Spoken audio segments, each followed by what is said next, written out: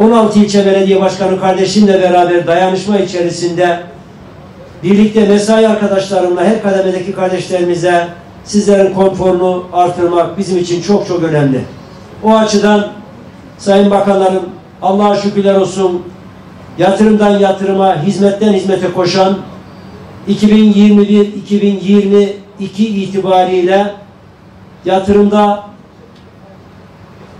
30 büyük şehir içerisinde en çok pay ayıran büyük şehir olarak birinci sıraya oturan bir şehrin hizmetkarı olma, bu çalışmalarımızda bizi destekleyen başta Sayın Cumhurbaşkanımız, Sayın Bakanlarımız, değerli Genel Başkan Yardımcılarımız, milletvekillerimiz olmak üzere teşkilatlarımız her birine ben ayrı ayrı huzur içerisinde teşekkür ediyorum. Çünkü huzur buluyoruz. Bu arada Cumhur İttifakımızın kıymetli Genel Başkanına ve tabii ki mensuplarına da huzurlarınızda her zamanki bizden desteklerini esirgemeyen yaklaşım içerisinde teşekkür ediyorum. Ulaşımla ilgili gerek altyapı itibariyle bu çalışmaları yaparken taşıma araçlarıyla ilgili de hizmetlerimizi sürdürüyoruz. Hatırlanacağı üzere Bessin bölgesinden Kumsmol alışveriş merkezine giden hattımızı terminalimizin önünden ve şehir hastanemizden Nuh Naci Yazganımızın da önünden geçen bu hattımızı hayata geçirdik. Her şeyden önce bu bir buçuk milyarı bulan bugün rakamlarıyla yatırımla ilgili emeğe geçenlere başta Sayın Cumhurbaşkanımız olmak üzere bir kez daha huzurlarınıza teşekkür ediyorum.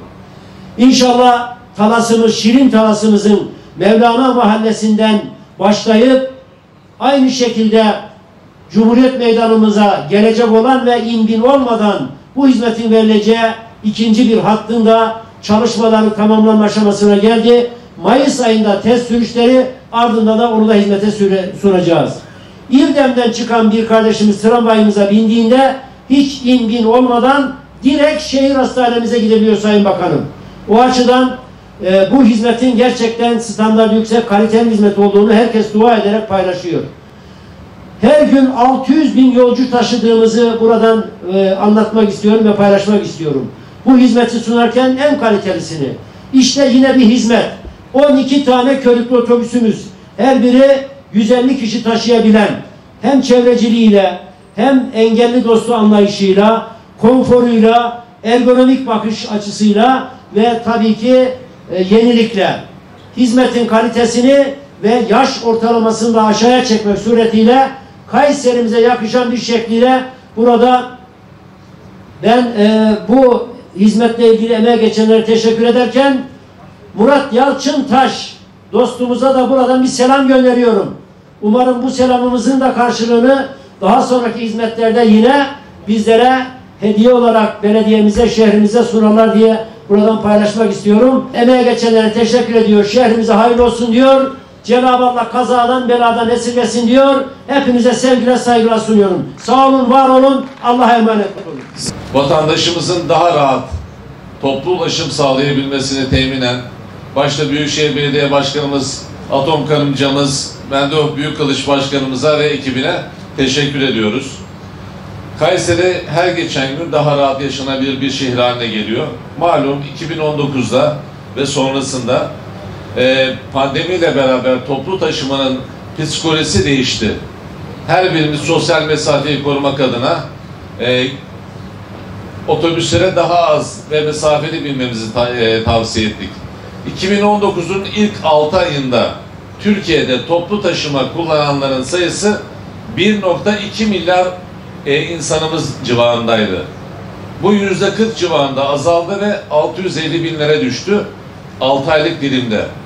Çok önemli bir e, değişiklikti. Şimdi tabii ki yine e, sağlığımıza, e, karşımızdakinin hukukuna dikkat ederek tabii ki toplu taşıma araçlarını daha fazla kullanmamız hem e, yakıt açısından hem tasarruf açısından hem de e, trafiğin yoğunlaşmaması açısından çok daha uygun olacak.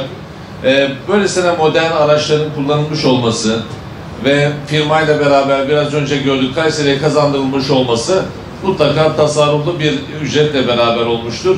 E, bu açıdan da biz kendilerine teşekkür ediyoruz. Birçok işler yapıldı. Bunları farklı programlarda inşallah sayacağız ama bugün burada özellikle bu e, sarı renkli otobüslerimizin Kayseri'ye kazandırılmış olmasını e, ön planda tutmamız gerekiyor ve bütün bunların Kayseri hemşehrilerimize hayırlı uğurlu olmasını temenni ediyoruz. Bütün bu duygu ve düşüncelerle Kayseri hemşehrilerimize hayırlı uğurlu olsun. Allah yar ve yardımcınız olsun inşallah. Bu şehir binlerce yıldır yaşıyor. Şehirlerin hayatında iyi günler olur, kötü günler olur. Bunu zaman içerisinde Kayseri'de hep yaşamıştır. Ama şu bir gerçek ki, şehirler canlı organizmalar. Şehirler yaşıyorlar. Onları sadece taşla, topraktan ibaret bir yapı gibi görürsek, işte o zaman aldanmış oluruz. Onların da bir ruhu var. Onlar da bakım istiyor, ihtimam istiyor. Onların üzerine adeta titremek istiyor. Eğer siz zamanın ruhunu okuyamazsanız, şehrinize sahip çıkıp şehri geleceğe taşıyamazsanız, çevredeki şehirlerin altında kalır, ezilirsiniz ve şehir yavaş yavaş küçülür, geriye doğru gider.